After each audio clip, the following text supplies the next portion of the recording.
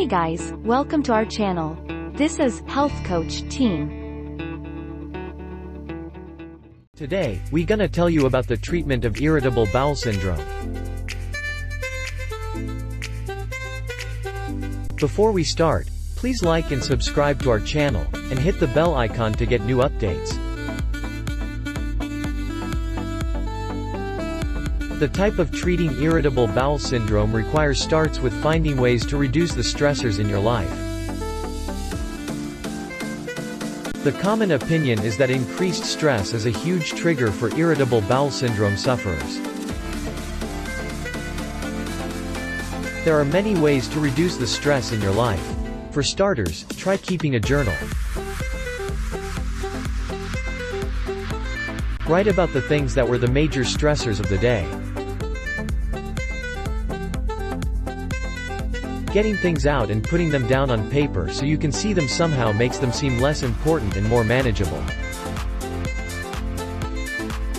For some people, relaxing is not easy. So to learn how to relax you may need some help. Now don't laugh go ahead and laugh. Did you know laughter is one of the best stress relievers there is? And it's free. Get together with friends and go to a comedy show or just turn on the comedy channel on TV. All of a sudden you will feel better than you have for a long time. Another stress relief treatment irritable bowel syndrome will respond favorably to is yoga. Find a yoga class and join up. Make sure it is a beginner's class because some of those advanced moves can be quite strenuous and you really should work up to them. Yoga can be quite a good workout, believe it or not.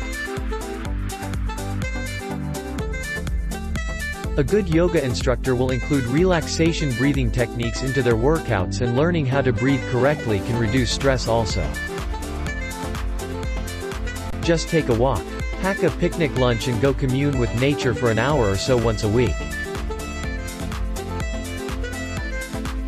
There is nothing more relaxing than enjoying the natural beauty of the world around us. Make sure to take your camera with you, you might just get some great shots of wildlife and scenery. Listen to your favorite music, sing along at the top of your lungs, and, if you feel like it, Dance like no one is watching. The fact that no one is watching is beside the point. The point is learning to be free enough to dance alone in your living room. Light some scented candles and add some aromatherapy to your dancing and singing. I know a big stressor for a lot of people is putting something off that needs to be done. Procrastination. You can do yourself a favor and reduce a great amount of stress by not procrastinating. If something needs to be done, just do it and get it done. There, no more stress. That wasn't so bad now, was it?